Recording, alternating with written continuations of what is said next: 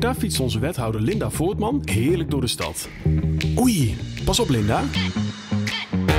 Dat ging nog maar net goed. Gelukkig hebben we in Utrecht een handigheidje. De Slim Melden app. Help jij mee onze stad schoon, heel en veilig te houden? Meld het ons wanneer je iets ziet dat stuk is of waar je overlast van hebt. De Slim Melden Utrecht app maakt het nu wel heel gemakkelijk.